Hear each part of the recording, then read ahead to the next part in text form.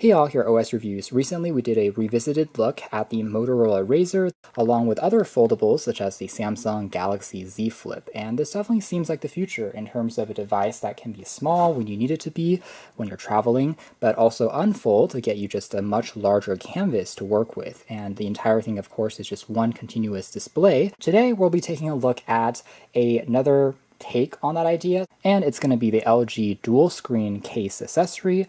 The one we have here is for the LG G8X smartphone, but you can also find it in variants available for the LG Velvet, the LG V60, among some of the other last LG phones that they had made. So as the name implies, this is basically a phone case that you're able to attach and use like any other case, kind of in a folio style, but it also combines and adds a secondary OLED display onto the phone. So you're able to now multitask and have two screens, but at least my perception going in was that it's just not going to be a very good experience because of that gap in the middle, meaning that it's just not quite as continuous uh, of a user interface. It's something, in fact, that we have seen in previous forms, like the Kyocera Echo from the late 2010s, one of the first phones that played around with this idea, and as hard as they tried back in the day, there was still that kind of gap in the middle. And in more modern times, of course, we also have variants of this design made by companies like ZTE, the Axon M, as well as the current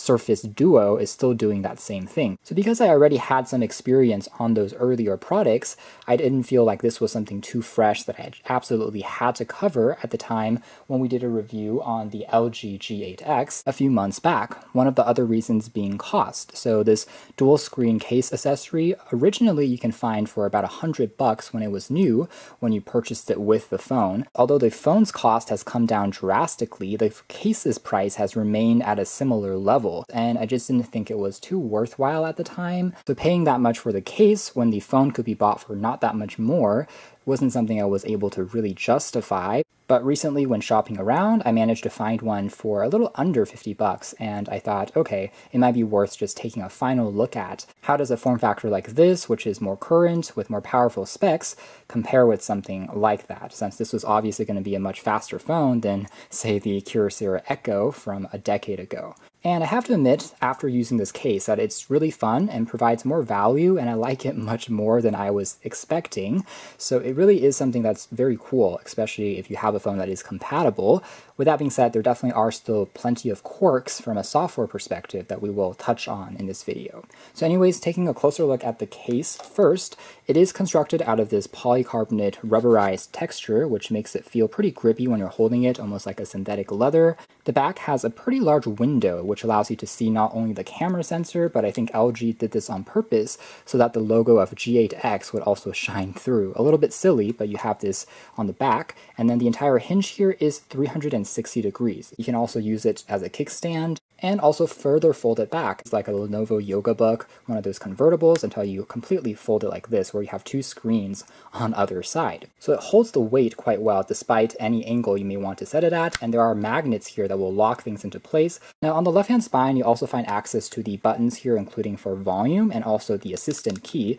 And what's interesting here is because the case is pretty thick to accommodate that hinge on the side, these are actual buttons, and it's passing that signal using the USB Type-C port the bottom here features uh, kind of a proprietary magnetic charging adapter, and that is because since it needs to power that secondary display, it's occupying the Type-C port of the phone when you're inserting it into the case. So you have to use another port here for charging, uh, so they give you that accessory in the box. However, you can also use Qi wireless charging, and that still works even with the case on, so you have at least two ways to charge your device. Still, with this case, as a result of occupying some space for the Type-C to plug in, it's a little bit thicker at the bottom, and that's why it's going to be a bit more recessed as far as the headphone jack and the speaker grill here are concerned.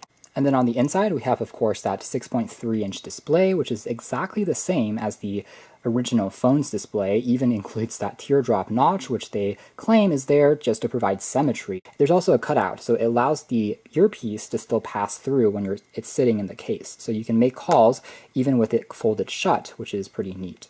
Now on the other side here, we have just that Type-C port. The process of snapping the phone into place is quite easy. Again, it's just plugging into that Type-C port and then you just apply a little bit of pressure. Overall, it's similar to holding something like a book, but the side with the phone in it is going to be more bulky than the other end with just a display. So keep that in mind. It's a little bit more centered on the right side, uh, but you're able to switch screens and kind of customize the orientation and layout as you would prefer. We can see that there is a external display at the front here, but it is relatively simple. It will tell you the time, basic notifications like weather and text messages, as well as the battery percentage and date, but that is pretty much it. It's not a touchscreen, unlike on the displays on the Z Flip or the, say, Motorola Razr, so you're not really able to customize this with other widgets, albeit this entire surface, as you can see, is like a mirror. It's made out of a plastic material, so it's not quite as solid as glass, but still attracts a ton of fingerprints and smudges. For sure, it's going to be adding more thickness to the phone as a result, but it's not too bad, I suppose, for what it is. It's the fact that you're able to remove it when you don't need it and just snap it in when you want to use it is really clever. That modularity I do appreciate. So overall, it's not bad. Similar to something like a Galaxy Z Fold though, it will take up just a little more space uh, when you are carrying it around which isn't going to match the elegance of a true folding display, uh, especially if you are trying to watch content, for instance, that's stuck there in the middle. However, I have to say that playing around with it, there are still plenty of other use cases where it is perfectly serviceable, and one of those applications has to be with web browsing. So using the Whale browser that is made by LG, or you can also use Chrome, it has pretty good optimization where you're able to view, let's say, search results on the right side, and then double tap on the link and it will open up on the other screen while you continue to search through other, let's say, articles or other sources as you're doing research. Alternatively, you can also do the full screen experience, which they call wide view, and that will push the same content over to both panels, just using it as an extended display. Again, in this mode, you do have that kind of unsightly gap in the middle until I have found in the kind of portrait orientation to actually be a lot more useful, especially as content is often split in a more reasonable fashion. You can kind of see sometimes though as text is going up, it still tends to have that interesting split effect, but it's less noticeable here, especially as you're able to just see so much more content at a glance, and it really transforms it into kind of a pseudo tablet-like experience, again, similar to the Samsung Galaxy Fold in that instance, just having something that is sizable like a phone but transforms into a tablet when you need it. And of course, the durability of something like this should also be stronger, at least on paper, because the display itself is not folding. It's just a conventional hinge like you would have on a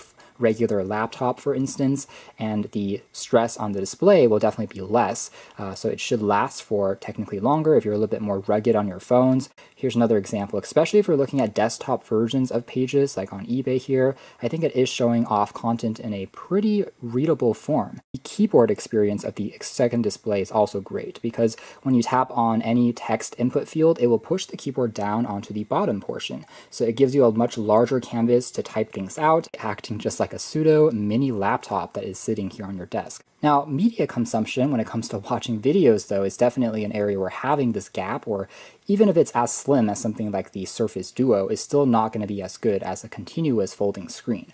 Uh, with that being said, if you are doing a little bit more of multitasking, that can still work. So, for instance, here on the YouTube app, uh, if you are kind of uh, full screening the experience, it can play back on the top while you read back additional articles and research on the side, and that can still make sense. It isn't too disruptive. But again, if you are truly combining the screen like this, this is obviously not going to be the best experience, but again, you're able to push it into just one screen if you wanted to, and then do something else completely at the bottom. Rather, I would say again, web browsing and reading are really the areas where something like this can shine. It supports the Kindle app, in fact, so you can have two pages split on two screens like a book.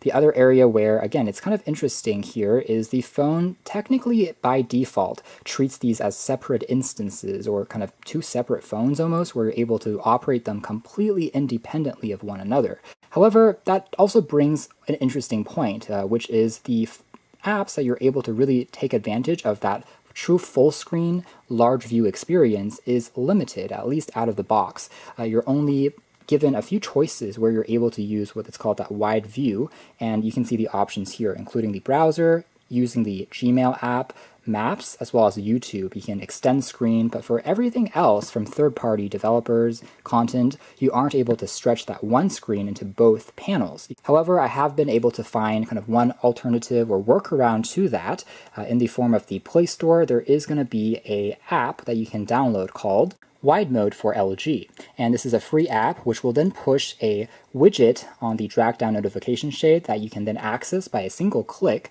And this will give you the ability to truly transform this into a widescreen experience across any app that you have on your device. So personally, I do really like this, and now it solves maybe one of the only complaints I had, which was that limited selection of titles which supported this widescreen experience. Now, regardless of the app that you're trying to interact with, you can have this extended screen experience. Again, it may not be perfect for every single application, but at least you have the ability to try it out, experiment, and see if you want to keep using it or not. Now, the other application where this dual screen view I have found to be really useful is in gaming, and perhaps this is actually the best scenario to use this dual screen case, arguably. Uh, so certain games that you will launch on here, you can bring up the LG gamepad. It will then open up here on the bottom screen, and all of a sudden you have access to kind of a pseudo gamepad that is very realistic, almost having like a Nintendo DS in the palm of your hands. If you don't like the way that the controls are laid out, in fact, you're able to even customize that just by tapping on the bottom icon there. This is a console style, but you can also go into a racing style, and now it will look like this. Alternatively, there's also another kind of arcade style D-pad that you have as well at your disposal. And again, it reminds you of something like, for instance, the uh, Sony PlayStation phone, pretty responsive and surprisingly convincing as well. Now, the last mode that you have here is also a completely uh, kind of basic as well as custom mode where you're able to create your own D-pad by adding buttons as you will uh, freely. So let's try customizing the size of this button even and its position from where we are comfortable with our thumb. The quality of this secondary display is also quite good because it is exactly the same as the primary panel of the phone itself. It's a OLED display at Full HD or 1080p resolution. One thing that I will say though is the quality manufacturing may be um, a little bit subject to improvement. I say that because the adhesive that LG has used on this display is not the tightest, uh, especially I think it has to do with the magnets that they have used here. And as a result, it always wants to kind of push that screen further down onto the phone, and it tends to become a little bit more loose over time. Uh, luckily though, it really is just the adhesive, which means you can always, let's say, drop a bit of glue underneath there and it would also just easily attach itself in.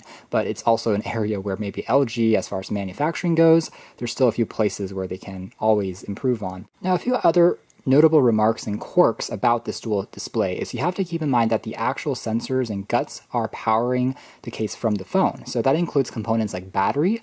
Uh, so admittedly, if you are using this case because it's still using the phone's battery to drive this other component, it is going to fall faster. I got around, let's say, two hours less screen on time with the case attached versus using just the phone itself. On here, at least, you're still getting a few hours of usage, which feels like kind of a normal experience. The other quirk that's worth keeping in mind is the accelerometer is still in the main phone part. So if you are, say, flipping the orientation like this, you have to be a little bit more obvious with the phone piece here that you're doing that action.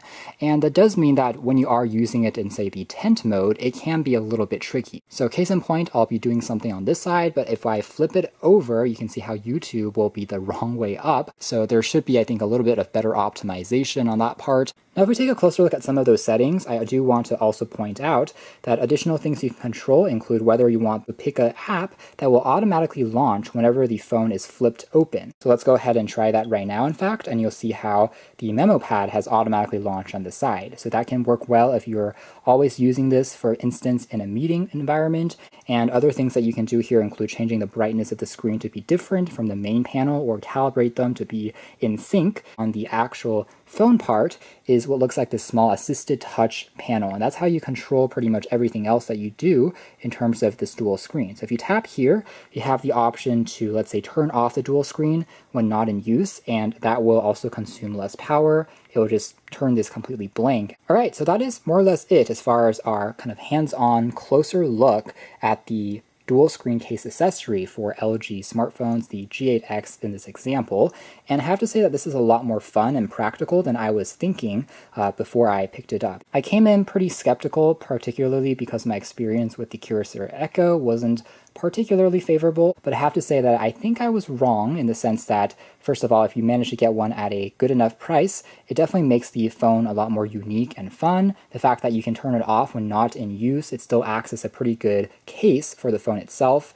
And it also does have a few applications which are really useful, primarily because our phone displays have gotten so good and so large these days that uh, compared to, say, the Kyocera Echo from all those years ago, you are getting just a significantly larger canvas uh, that really does feel like you're using a tablet. The fact that you are able to just do so much more multitasking and still fold it down into something small, the fact that it's something completely removable, when you're done, you can just pop it out. I just really like that as well. And overall, again, if you have a phone that supports this, really why not? Especially these days as the price has started to come down. You can check out more details if interested and our review on the G8X itself in the links down below. For now, that's been our video. Thanks for watching here at OS Reviews.